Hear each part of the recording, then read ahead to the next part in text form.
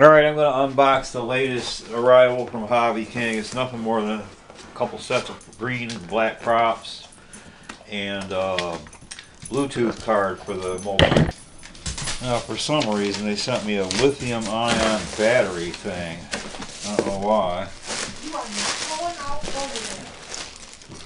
Okay, there's the props.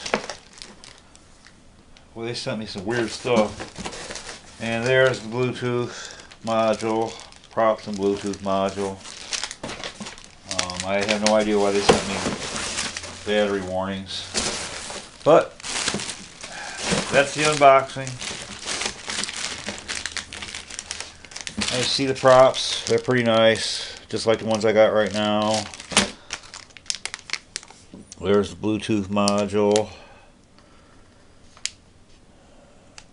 Hooks up to uh,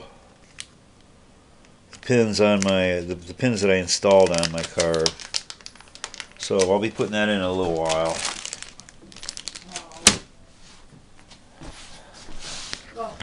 All right, I hooked up. I hooked up uh, Bluetooth module. That's it right there, blinking to my uh, MultiWii flight controller. And uh, how you hook it up is the wires. Uh, you have to have these pins in your board. They don't. The board doesn't come with them, so you got you got to put them in. Uh, and what you do is you take your RX, goes to your TX, and your TX goes to your RX. You just reverse the two functions and plug them in in reverse. Other let's say it's TX down here, so you put it in the RX over here. And, you know, same thing. Then then you got your uh, hot wire right there, and then the ground. You skip a pin for some reason. There's a blank pin in there between ground and hot. But anyway, it's hooked up. It's blinking. I've had it on already, but I want to shoot a little video about how you connect. Hopefully it'll connect this time. Sometimes it doesn't. I don't. I don't know why. It's a little disappointing at times. Uh, anyway, you gotta go to now I got these apps on here. One's called uh, MultiWii Easy GUI. We're going to use that for now. Alright, going back to where I was. Here's the annoying noise this thing makes when the uh, Jeep, when the Bluetooth is hooked up. And also the red light, let me turn that down, it's driving me nuts. The red light comes on, stays solid when you're hooked. It says connected right down there at the bottom. So I'm all connected. Now this thing gives you some features called dashboards. Gives you a dashboard. Literally, it shows you all your uh, active modes, and uh, I think that one's the uh, compass. Let me let me flip it this way. Probably look better. Oh yeah. So you got your compass. I set the picture thing. I'm not sure what those are. 2.0 and 1.0. I'm not. I don't know. We'll have, to, we'll have to look this up and figure out what it is. I, I really am not sure. But anyway, it's got your modes. It's got your modes over there on the left. Uh, let me see what else can I come up with here. Let's hit back. That's the one dashboard. Here's another dashboard. That gives you all kinds of readouts. Uh, let me see. We got uh, satellite six. I actually I'm hooked up to six satellites right now. Distance to home, direction to home, speed. Wow, according to this, I'm going 36 centimeters a second right now. I don't know how, but okay, it's got that altitude, longitude, latitude, angle, mag, head freeze, what I'm in, battery, uh, power, sun, power. I don't know power trigger. I don't even know what some of this stuff is. Vertical speed, altitude, roll, pitch, azimuth. Well, anyway, that's everything on that dashboard. Go on to the next. Dashboard 3 you got to buy. It's got a radio. I haven't figured out exactly what you do with that yet. Oh, here's something cool, the map.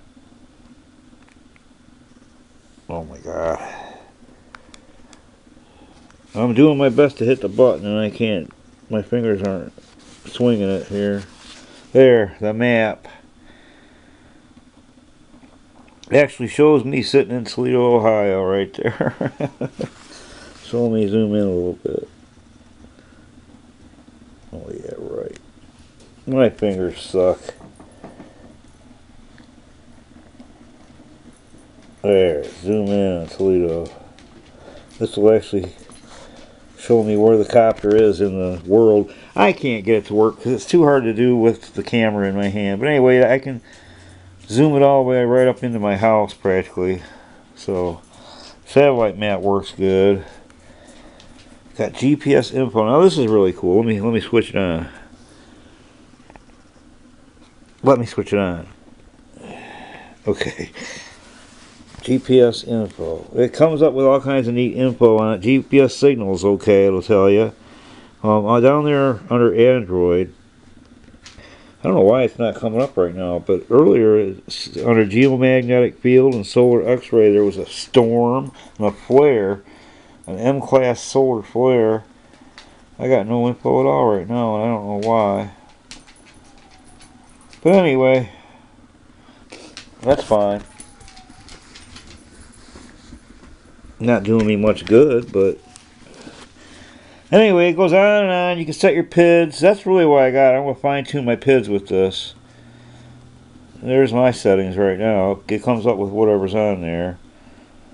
That's my throttle expo, my RC expo, all that crap. I mean, you can you can literally change this stuff practically on the fly. That's what's cool about it.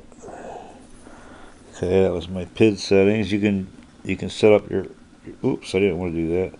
You can set up your aux switch and all your settings. Oops, I don't want that. I don't even have those.